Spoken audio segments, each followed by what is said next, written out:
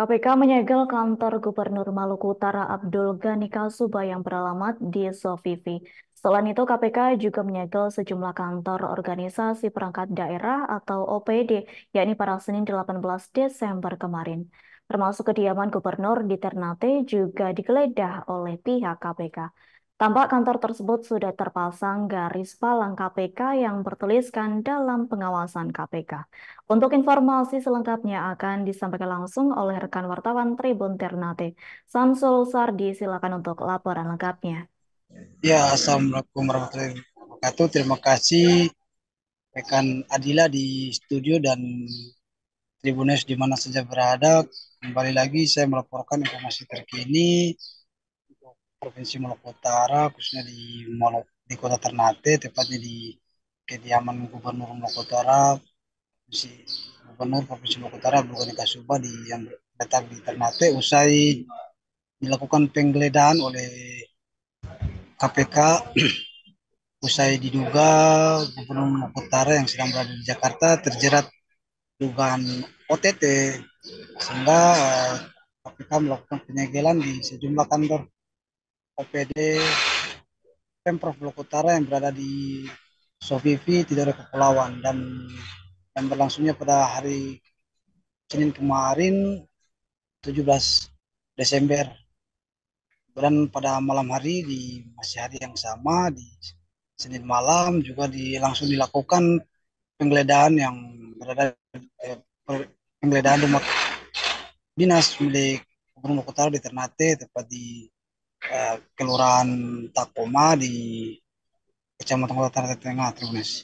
Bahkan dalam penggeledahan KPK ini di salah satu kamar pribadi gubernur dan langsung melakukan penyegelan seperti di beberapa OPD di Pemprov Sumatera Utara seperti ruang dinas pendidikan, ruang kepala dinas pendidikan Pemprov Maluku Utara, ruang bendara PUPR Provinsi Maluku Utara dan ruang kepala keuangan Provinsi Maluku Utara dan terserta eh, ruang kantor milik Gubernur Maluku Utara di kantor SPP Gubernur Maluku Utara ikut disegel Tribunes dan, pada malam hari terlihat suasana usai dilakukan penggeledahan di kediaman dinas milik Gubernur Maluku Utara di Ternate terlihat suasana aktivitas terlihat sepi dan hanya beberapa kendaraan dinas yang terparkir di halaman kantor di halaman kediaman Gubernur Maluku Utara terus. Bahkan salah satu petugas Satpol PP yang berjaga-jaga di kediaman dinas tersebut mengaku eh, benar adanya penggeledahan yang dilakukan KPK atau Komisi Pemberantasan Korupsi usai dugaan Gubernur Utara yang sedang berada di Jakarta terkena OTT terus.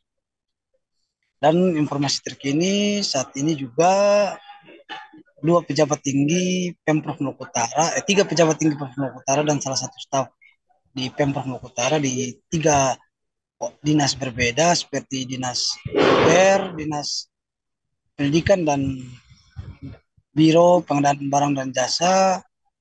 Pagi tadi Tribunes langsung dibawa tim KPK dari Bandara Ternate Maluku Utara menuju menuju Jakarta dan akan dilakukan pemeriksaan langsung di kantor KPK itu dan para pejabat tersebut dan dampingi staf dan tim penyidik eh, diberangkatkan lewat pesawat pertama Garuda dengan penerbangan jam 7 pagi waktu Indonesia Timur Terus.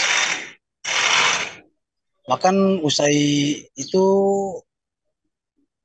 eh, keluarga terlihat keluarga Gubernur Maluku Utara terlihat ramai-ramai eh, berangkat ke Jakarta yang dilakukan pada pukul 8 pagi di Bandara Babula Ternate untuk bagaimana menjenguk gubernur yang sementara sudah diperiksa di KPK terus. Salah satu yang mengakui seperti anak gubernur Utara Nazla yang di hadapan wartawan ditanya usai mau masuk ke Bandara Babula Utara untuk melakukan penerbangan menuju Jakarta Tribunes mengakui eh, mengakui akan melakukan kunjungan atau melakukan melakukan melihat langsung kondisi ayahnya atau kondisi gubernur kota yang berada di Jakarta serta didampingi ibu ibunya terus ibu gubernur Maluku terus bahkan eh, Najla meminta masyarakat Maluku untuk melakukan doa bersama untuk bagaimana kondisi saat ini bagi Gubernur Maluku Utara yang sedang melakukan pemeriksaan dugaan kasus OTT di Jakarta oleh KPK Tribunasi. Mungkin itu saja Dila, saya Sansu Sardi dari Ternate, Provinsi Maluku Utara melaporkan. Terima kasih. Baik, terima kasih untuk informasi lengkapnya. Silakan bertugas kembali. Download Tribun X sekarang. Menghadirkan lokal menjadi Indonesia.